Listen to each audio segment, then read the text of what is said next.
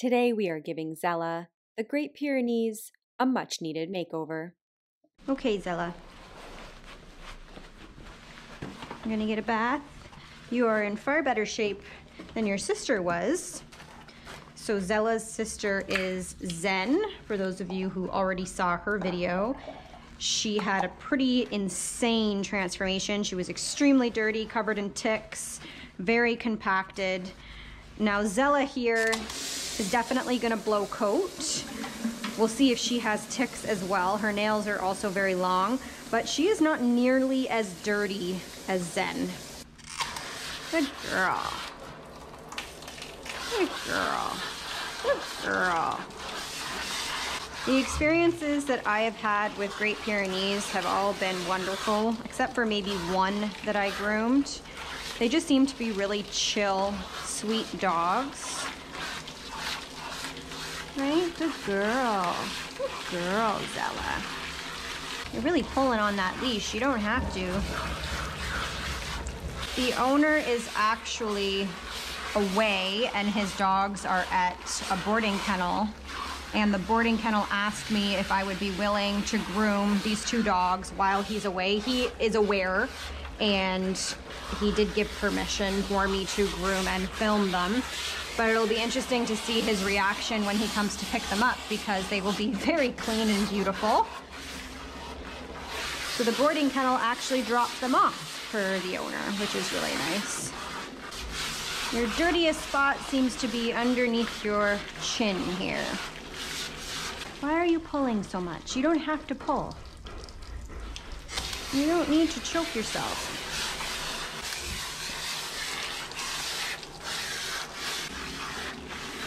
Okay. Okay. Good girl.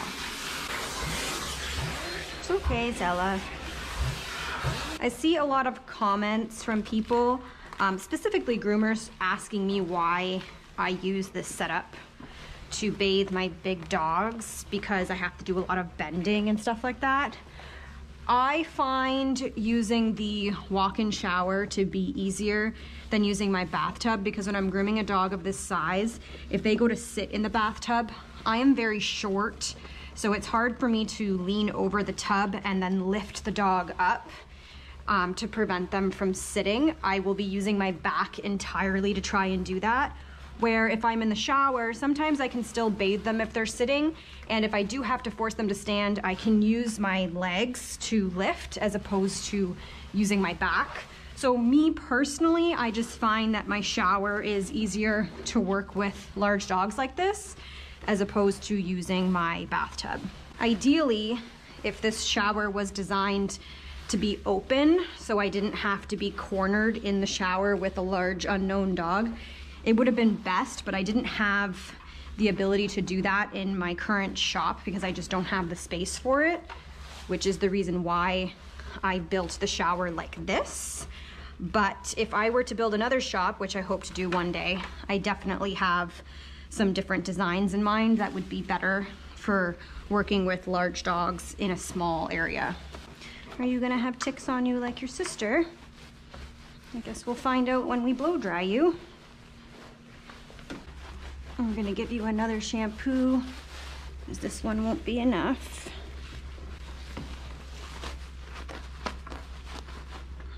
I'm gonna rinse her down and then I'm going to give her another shampoo in some whitening shampoo.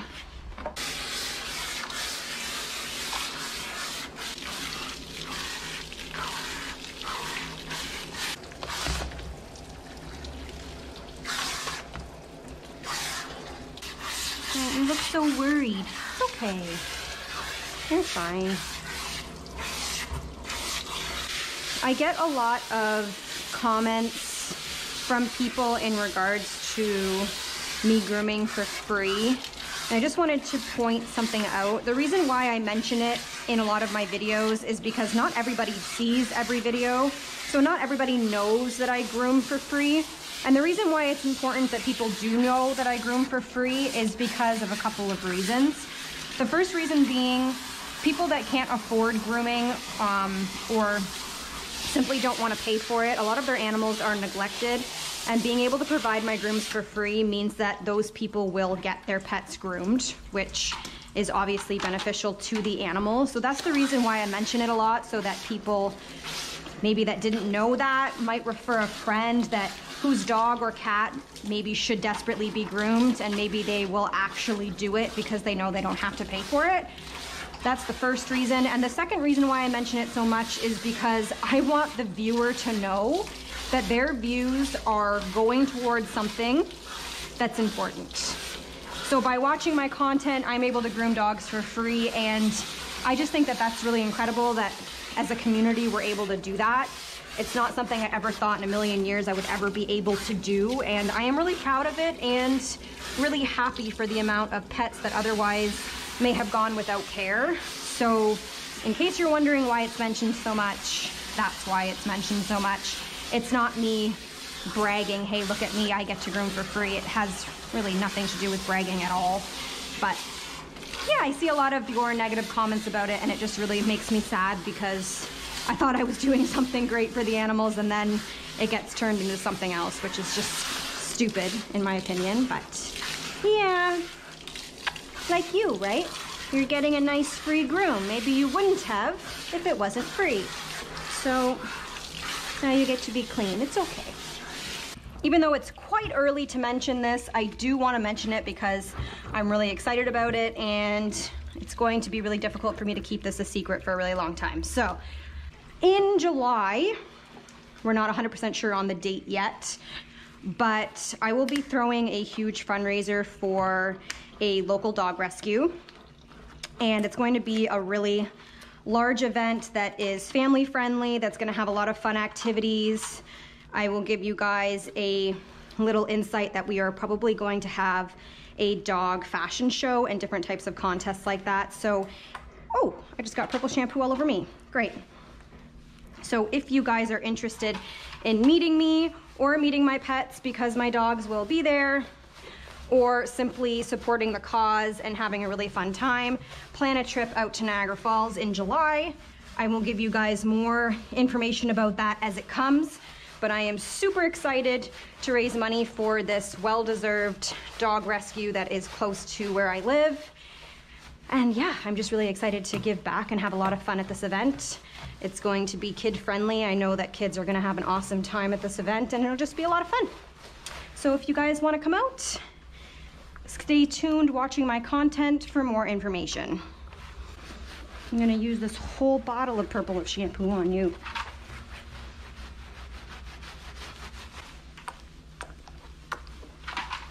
Why I gotta keep turning? Hmm? Okay. I'm gonna let that sit while I do the face. Okay, normally I would rinse the face first, but I don't want to rinse off any of the purple shampoo yet. So I've just diluted the tearless and I am going to pour that on and scrub it in. Hey, stay there.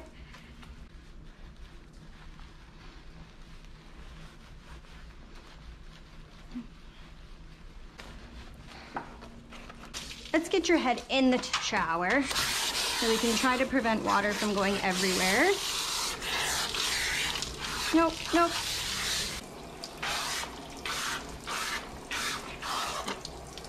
Good girl.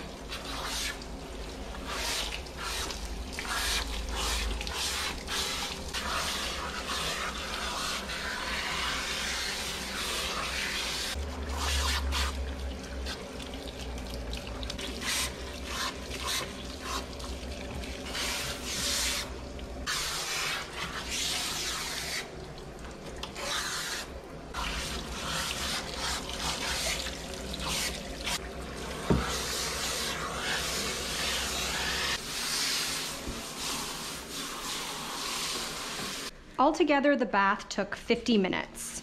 She got three shampoos, one in Nasty Critter Deep Cleaning, another in Fluff Off De-Shedding, and a third in Purple Shampoo, and then she got a conditioner in Fluff Off Conditioner. Right? Now we do, I'm gonna do a first towel dry with a towel, then I'll use the absorber, and then it's off to the blow dryer.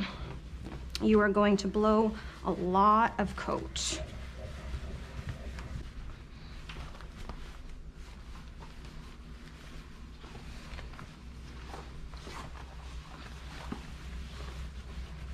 Do a good brush. Oh yeah, you are definitely gonna blow coat. Now she stood the entire time that she was in the bathtub, so I'm gonna let her sit for a bit. It's going to be difficult to dry her with her sitting, but I will eventually have her stand with the belly band, but I'm gonna give her a bit of a break and let her sit because I do think that she's tired. I gotta be prepared to find ticks on you. Hopefully none of them fly off onto me. That would be great. Yeah, I can see some spots where she has scabbing from ticks that have already been pulled off.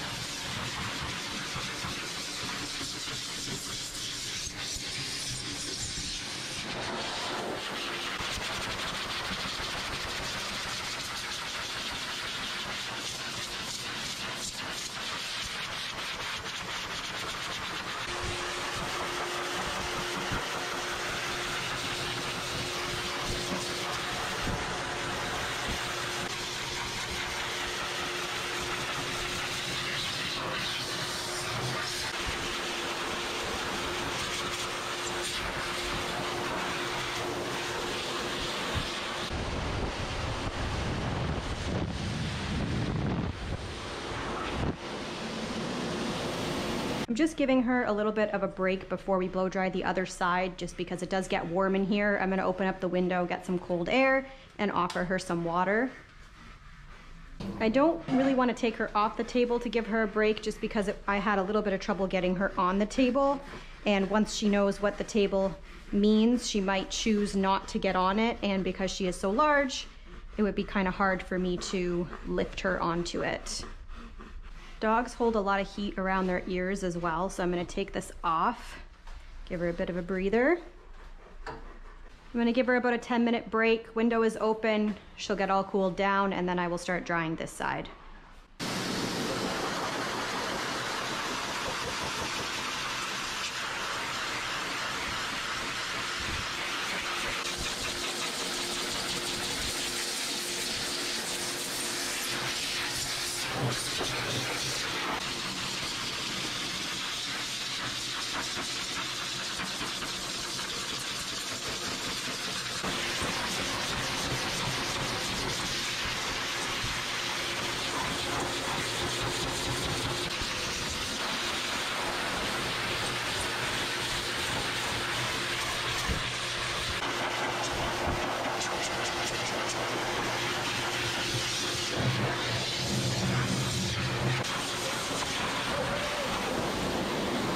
Think I found a tick. Got to use the dryer to find it.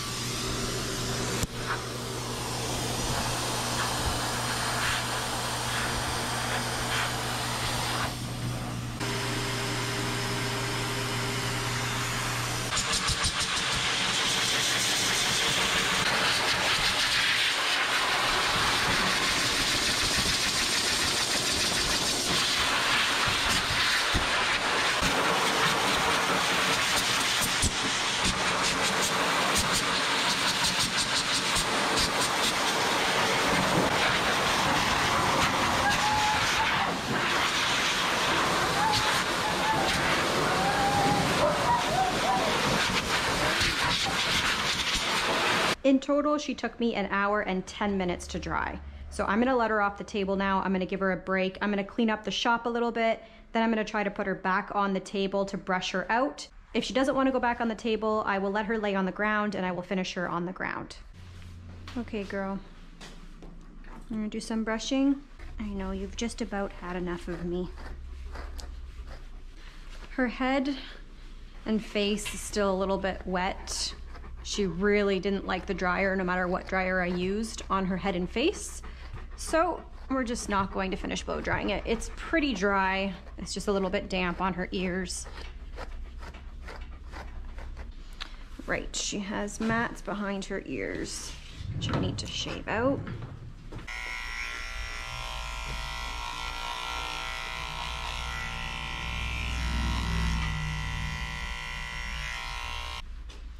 You have a lot more matting than I noticed when I was blow drying you. What the heck?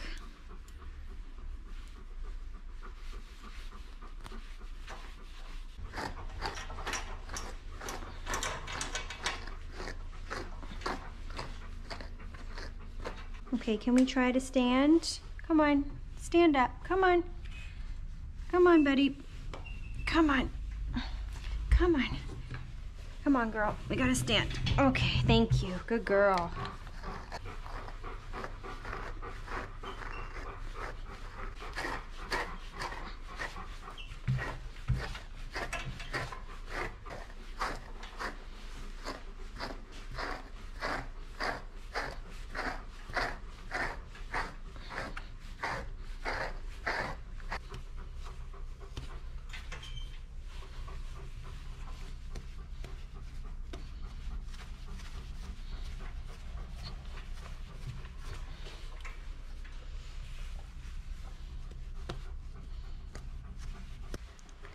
This side is brushed out. Hopefully she lets me clip these nails.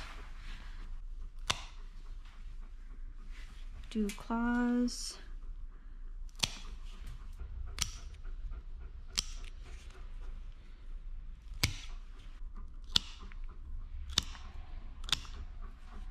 I know it'll be easier for her if I do this without lifting her paws.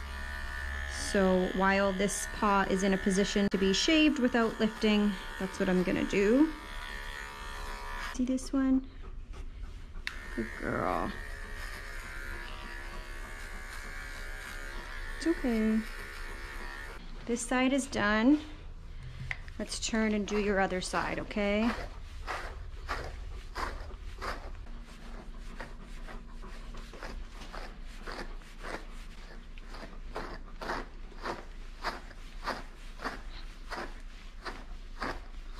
About this matting again.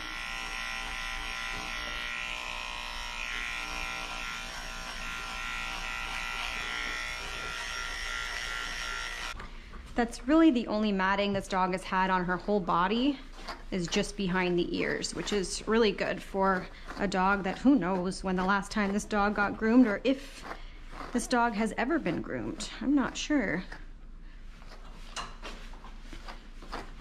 When you see me holding the ear like this when I'm brushing, it's not me pulling on the ear. The reason why I hold the ear is because if I don't, I run the risk of grabbing it when I'm brushing, and sometimes that can be really uncomfortable for the dog. So I just like to hold it out of the way while I brush.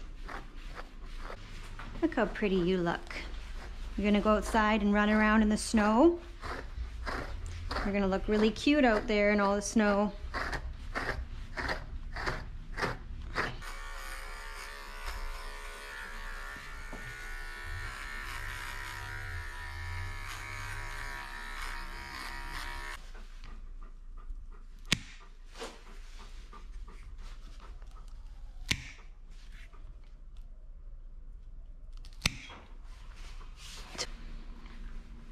Has some fluffy hair on her paws. I think I'm just gonna tidy up a little bit. She doesn't really have Grinch feet like the average fluffy dog.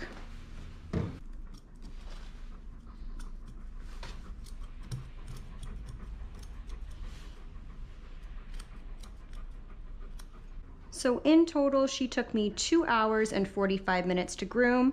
I'm gonna let her outside to play in the snow. I'm sure she's gonna look really pretty with her fresh, clean white coat running around in our fresh snowfall. Thank you guys so much for watching, and I'll see you again in a few days.